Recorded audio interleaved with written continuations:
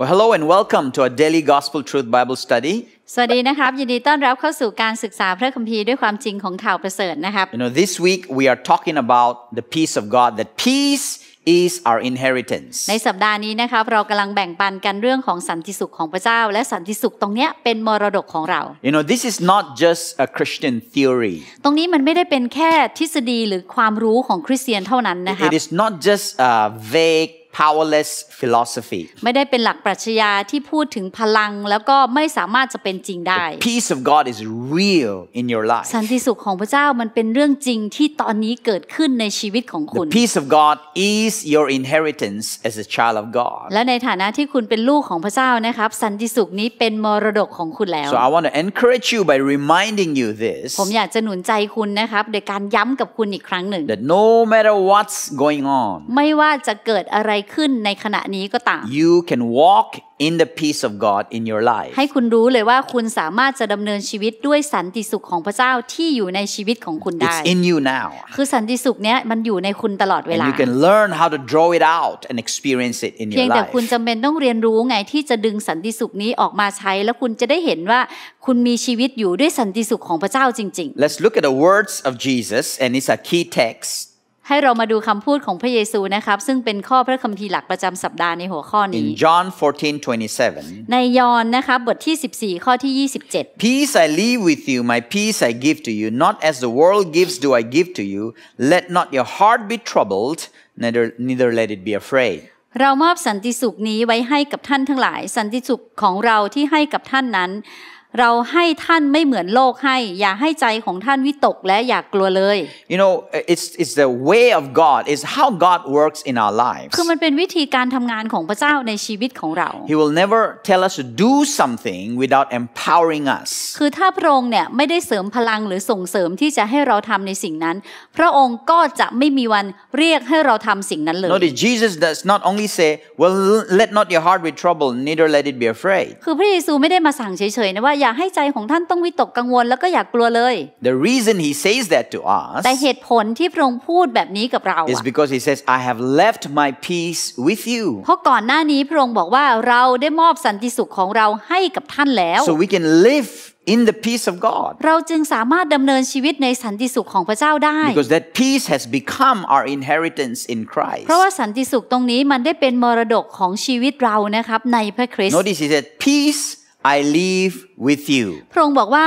เรามอบสันติสุขของเราไว้ให้กับท่าน So it's already with us. นั้นหมายความว่าสันติสุขตอนนี้อยู่กับเราแล้วนะ And it's not the peace that the world gives. แล้วก็ไม่ได้เป็นสันติสุขที่เหมือนกับโลกนี้ให้ that is unstable, that is temporary. สันติสุขที่มาจากโลกเนี่ยมันเป็นสันติสุขที่ไม่มั่นคง มันอาจจะเกิดขึ้นกับจิตใจของเราแค่ชั่วครั้งชั่วคราว What peace is this? แล้วสันติสุขตรงนี้คืออะไรอะ Jesus says, My peace I give to you. พระเยซูบอกว่าสันติสุขของเราเรามอบให้ท่าน His own peace, the peace that Jesus walked in, เป็นสันติสุขของพระองค์เองเลยนะ เป็นสันติสุขที่พระองค์เคยใช้ในการดำเนินชีวิตอะ has been given to us. พระองค์ก็มอบไปให้กับเราไง You see, in the world that we live in, there are many challenges, there are many obstacles and twists and turns. อย่าลืมนะคะว่าในโลกที่เรามีชีวิตอยู่ในปัจจุบันนี้เนี่ยมันก็มีอุปสรรค มันก็มีปัญหา มันก็มีสิ่งที่เราไม่คาดคิดเกิดขึ้นอยู่ตลอดเวลา That causes our hearts to be troubled and to be afraid. แล้วสิ่งเหล่านี้มันก็สามารถจะทำให้เรารู้สึกกลัว รู้สึกวิตกกังวลได้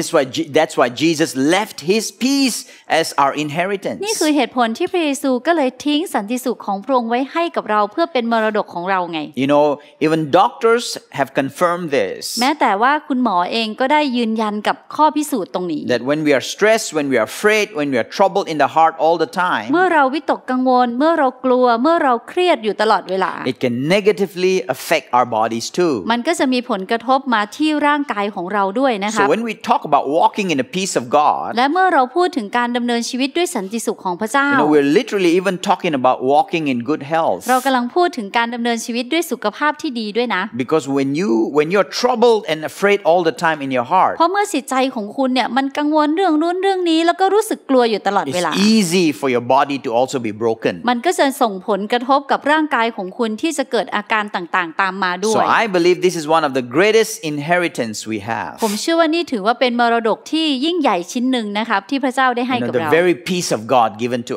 เป็น us. สันติสุขของพระเจ้าเองเลยที่พระเจ้าได้ทรงมอบให้เรา And so, and so notice here, Jesus says, let not your heart be troubled. ให้เราดูตรงนี้นะคะพระองค์บอกว่าอย่าให้ใจของท่านต้องวิตกกังวล Which means that for a lack of a better word, the hardware of peace has been installed in us. นั่นหมายความว่าฮาร์ดแวร์เนี่ยพระองค์ได้ใส่ไว้ภายในจิตใจหรือในชีวิตของเราละ But we must know how to use this hardware or this peace in our lives. แต่ทุกวันเราจำเป็นต้องเรียนรู้ฝึกที่เราจะใช้ฮาร์ดแวร์ก็คือสันติสุขนี้ในชีวิตของเราทุกวัน So yesterday we said that we must first know and believe in our new nature in Christ. เมื่อวานนี้เราก็ได้บอกกันไปนะคะว่าก่อนอื่นเราจำเป็นต้องเชื่อเกี่ยวกับลักษณะใหม่ของเราที่เกิดขึ้นแล้วในพระคริสต์ก่อน That the presence of the Holy Spirit in us การทรงสถิตของพระวิญญาณบริสุทธิ์ที่อยู่ในเรา has caused fruit, His fruit, to dwell in us. ได้ทำให้เกิดผลของพระองค์เนี่ยเข้ามาอยู่ในเราด้วย And the peace of God is one of the fruit of the Spirit. แล้วสันติสุขของพระองค์ก็เป็นผลอย่างหนึ่งของพระวิญญาณบริ So สุทธิ์ you have to begin at that, at the, uh, with this belief system. คุณจำเป็นต้องเริ่มต้นด้วยความเชื่อตรงนี้ก่อนนะครับ That peace is not an impossibility, peace is not far away. คุณต้องเชื่อก่อนว่าสันติสุขเนี่ยมันเป็นเรื่องที่สามารถเกิดขึ้นกับคุณได้ แล้วมันก็ไม่ได้อยู่ห่างไกลจากชีวิตของคุณเล You ย know, peace is part of your spiritual DNA. Peace is your new nature in เพราะว่า Christ. ตอนนี้สันติสุขของพระคริสต์เนี่ยมันเป็นพันธุกรรมของคุณมันเป็นธรรมชาติลักษณะใหม่ที่อยู่ภายในวิญญาณของคุณแล้วไง Right, When you begin from there, you will know how to walk in the peace of และ God. เมื่อคุณเริ่มต้นจากจุดตรงนี้เนี่ยคุณก็จะรู้วิธีการดำเนินชีวิตด้วยสันติสุขของพระเจ้า All right, then we'll talk about today the second key to experiencing the peace of God. แล้ววันนี้เราจะมาพูดถึงกุญแจที่สองที่จะช่วยให้เราได้รับประสบการณ์กับสันติสุขของพระเจ้า And นะ it ครับ is, it is this know the gift of righteousness. คุณจำเป็นต้องรู้เกี่ยวกับของประทานแห่งความชอบธรรม Now, you might wonder how is this connected to peace? คุณอาจจะสงสัยก็ได้นะคะว่าเรื่องนี้เนี่ยมันเกี่ยวข้องอะไรกับสันติสุข Well, ด้วยเหร that's อ why we need to go to the scripture and see this. และนี่คือเหตุผลที่เราจะต้องมาศึกษาจากพระคัมภีร์นะคะเพื่อเราจะได้เห็นความจริง Notice in Isaiah 32, verse 17. ในอิสยาห์นะคะบทที่ 32 ข้อที่ 17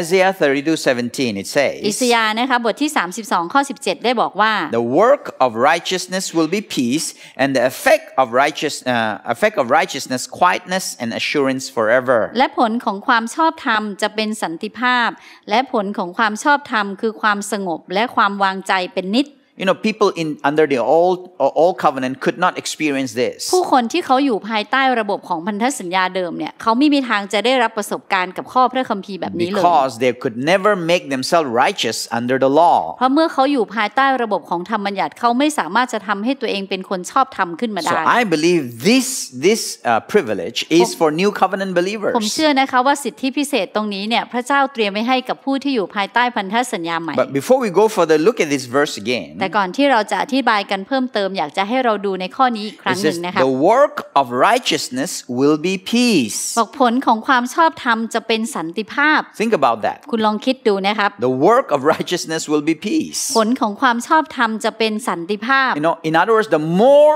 you know this gift of righteousness you have in Christ, หมายถึงว่าเมื่อคุณเนี่ยยิ่งรู้และเข้าใจเกี่ยวกับของประทานแห่งความชอบธรรมที่ตอนนี้อยู่ในคุณแล้ว and you เพราะ live พระ in คริสต์ and you live in the awareness of this righteousness,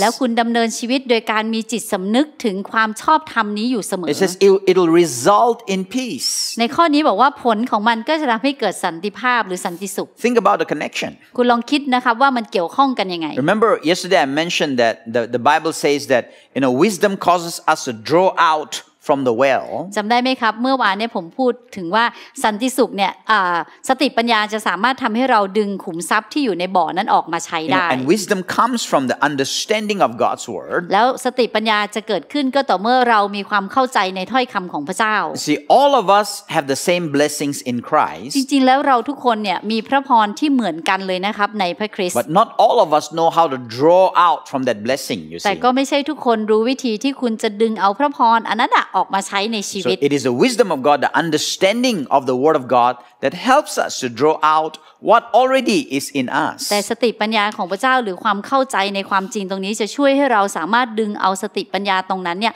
ออกมาใช้ในชีวิตได้ And so one way to draw out the peace of God that is in us แล้วทางหนึ่งที่เราสามารถจะดึงเอาสันติสุขของพระเจ้าซึ่งอยู่ภายในเราออกมาใช้ is to allow the truths of righteousness to work in our hearts and in our minds. ก็คือการที่เรายอมให้ความจริงในเรื่องของความชอบธรรมตรงเนี้ยทำงานในความคิดและก็จิตใจของเรา You know, no matter what is coming against you or what is happening in your life, ไม่ว่าจะมีอะไรที่เกิดขึ้นในชีวิตของคุณ หรือว่าเข้ามาโจมตีในชีวิตคุณ when you are aware that you have right standing with God through Jesus Christ, เมื่อคุณรับรู้อยู่เสมอว่าตอนนี้เนี่ยคุณมีจุดยืนที่ถูกต้องกับพระเจ้าแล้วเป็นเพราะพระเยซูคริสต์ it results in peace in your heart. มันก็จะทำให้จิตใจของคุณเนี่ยมีสันติสุขไปด้วยนะ That the whole world may be against you, but God is not against you. คือคนทั้งโลกเนี่ยอาจจะไม่ชอบคุณอาจจะต่อต้านคุณแต่ยังไงพระเจ้าเนี่ยชอบคุณไงแล้วพระเจ้าก็เห็นคุณเป็นคนชอบธรรม Through Jesus Christ, He has given you right standing with Him. เพราะว่าโดยผ่านทางพระเยซูคริสต์พระเจ้าจึงให้ตำแหน่งหรือว่าจุดยืนที่ถูกต้องระหว่างคุณกับพระองค์แล้ว See, righteousness is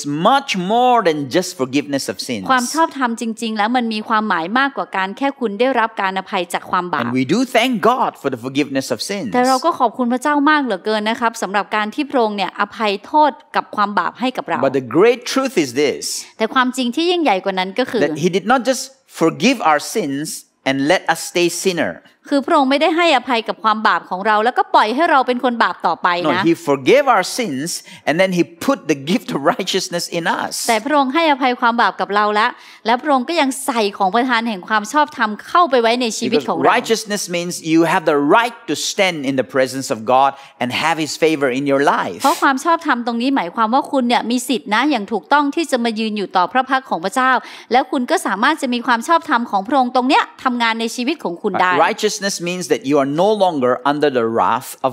และ God. ความชอบธรรมตรงนี้ก็ยังหมายความว่าคุณจะไม่มันถูกพระเจ้าพิพากษาลงโทษอีกต่อไป Righteousness also means you have the right to every blessing God has for you. แล้วความชอบธรรมตรงนี้ยังหมายถึงว่าคุณมีสิทธิ์ที่จะรับเอาพระพรหรือมรดกทุกอย่างที่พระเจ้าเตรียมไว้ให้กับ And คุณ so, ได้ and so when you're aware of this gift of righteousness, เมื่อคุณรับรู้มีจิตสำนึกถึงของประทานแห่งความชอบธรรมตรงนี้อ the ยู่เสมอ scripture here it says you will have peace. พระคัมภีร์ตรงนี้บอกว่าจิตใจของคุณเนี่ยมันก็จะเต็มไปด้วยสันติสุขไง Notice the second part also says the effect of righteousness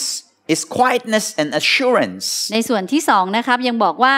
ผลของความชอบธรรมคือความสงบและความวางใจเป็นนิด You know, eh, eh, you know, how do we respond to this? และเราจะตอบสนองกับข้อนี้ยังไง It's simple. ง่ายๆเลยนะครับ Live in the consciousness of righteousness. ก็ดำเนินชีวิตโดยการคิดอยู่เสมอว่าเราเป็นคนชอบธรรมของพระเจ้าแล้ว When things are coming against you, declare that you're righteous in Christ. เมื่อมีสิ่งไม่ดีเข้ามาโจมตีชีวิตของคุณ คุณก็ต้องประกาศอยู่เสมอว่า ฉันเป็นคนชอบธรรมในพระคริสต์แล้ว That through Jesus Christ, He has given you the right to stand in His presence and enjoy His favor. แล้วโดยผ่านทางพระเยซูคริสต์การงานที่เสร็จแล้วของพระองค์เนี่ยพระเจ้าจึงให้สิทธิ์กับฉันที่จะมายืนอยู่ต่อพระพักตร์ของพระองค์มีความสุขกับความชอบธรรมตรงนี้ได้ That the wall of sin that stood before you and God has been knocked down by Jesus Christ. แล้วกำแพงแห่งความบาปที่เคยกั้นขวางระหว่างคุณกับพระเจ้าเนี่ยพระเยซูคริสต์ได้ทรงทำลายกำแพงตรงนั้นลงแล้ว And now there's nothing between you and God. ตอนนี้จึงไม่มีอะไรที่จะมากั้นขวางระหว่างคุณกับพระเจ้าอีกต่อไป And God sees you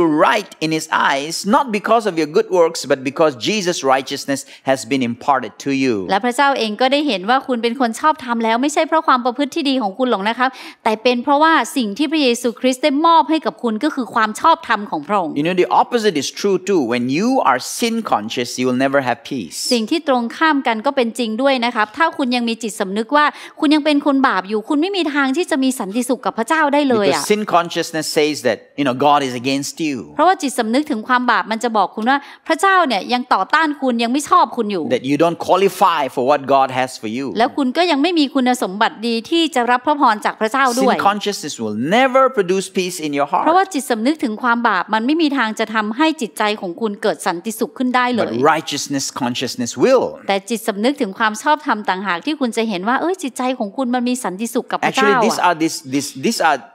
simple truths จริงๆ ตรงนี้มันเป็นความจริงพื้นฐานมากเลย that นะคะ help you to draw from the peace of God that is already within you. ที่จะช่วยให้คุณดึงเอาสันติสุขของพระเจ้า ซึ่งมันอยู่ภายในคุณตลอดเวลา So I want to encourage you today. ผมเองก็อยากจะหนุนใจคุณในวันนี้ Every single day, be righteousness conscious. ทุกๆวันนะครับอยากจะให้คุณมีจิตสำนึกถึงความชอบธรรมเอาไว้ And the effect of righteousness will be peace in your heart. แล้วคุณจะเห็นว่าผลของความชอบธรรมมันก็คือสันติสุขที่จะเกิดขึ้นในจิตใจของ And คุณ you're righteous by the blood of Jesus. แล้วคุณเป็นคนชอบธรรมแล้วนะครับโดยพระโลหิตของพระเยซูคริสต์ Let's pray. ให้ให้เราที่ฐานด้วยกันนะคะ Father, I thank you for the gift of righteousness พระบิดาลูกขอบคุณพระองค์สำหรับของประทานแห่งความชอบธรรม that I have been given right to every blessing ที่ลูกเองก็มีสิทธิ์ที่จะรับเอาพระพรทุกอย่างของพระองค์ได้ through the finished work of โดยผ่าน Jesus. ทางการงานที่เสร็จแล้วของพระเยซู I declare and I agree with you today วันนี้ลูกขอประกาศและเห็นด้วยกับพระองค์ that the blood of Jesus has made me righteous. ว่าพระโลหิตของพระเยซูได้ทำให้ลูกเป็นคนชอบธรรมแล้ว And therefore, peace is my inheritance. ดังนั้นสันติสุขจึงเป็นมรดกของลูก In Jesus' name. ในพระนามพระเยซู